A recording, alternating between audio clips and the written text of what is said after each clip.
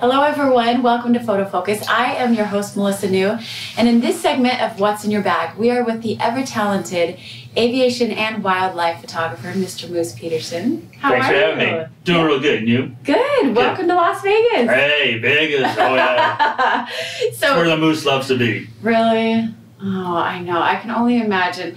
Uh, so that's that's a good place to start out if you're here in Las Vegas, I mean, you just went out to Hoover Dam, right? And the day before that, I was out in Death Valley at 115 degrees. Yeah. Oh yeah. Oh, mm-hmm. Oh yeah. It is definitely, definitely out there. Mm-hmm. So when you're out there, being someone that does aviation or wildlife, what is it that you're looking for when you've got your camera on you? Same thing as as, as anybody else. I'm chasing light. Yeah. And just the way the light plays off anything, mm-hmm. and anything usually is the subject, and that's the whole thing. It's chasing the light. Sure. Mm-hmm. So uh, you, you know, you're different than anyone that we've had on this segment so far because you are dealing with very. Is that good or bad? That's a good thing. That's a good thing because obviously we're talking about gear, mm-hmm. and you know we've had some portraits and and people that shoot fashion and uh, other things. So you are dealing with very fast subjects. Mm-hmm. When it comes sometimes. to aviation, well, okay. Mm-hmm. Sometimes wildlife, not so much, mm-hmm. but they can definitely move fast, mm-hmm. right? Three nights ago, I was photographing the heavenly bodies which you could consider as being timeless, and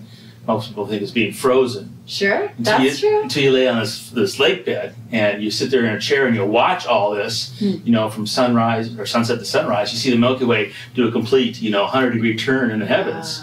You realize that everything moves. Everything does. Mm-hmm. Yeah. Interesting. Mm-hmm. Well, Moose, where where can we find your work? You talked about your website, and do you have a blog? Do you update I keep everything very simple. Do you? MoosePeterson.com. Okay. YouTube channel, Moose Peterson. You know, Easy. Twitter, Moose Peterson. Easy. Facebook, Moose Peterson. All right. So yeah, I use the KISS theorem. Okay. Keep it simple, stupid. Keep it simple, stupid. Mm-hmm. Moose Peterson, M O O S E Peterson.com. S-O-N. Yep. S O N. All yep. right. Well, definitely check that out. And Moose talked a lot about different gear. Not everyone has the ability to purchase that big hunk of a 800 lens or the D4S, but you can lend, you can rent it at lensrentals.com and I would definitely encourage you guys to check out Moose's work. It's beautiful. But not just his work, holy cow, you know a lot about animals. So I was very educated today. So thank you so much. My pleasure. Thanks so much.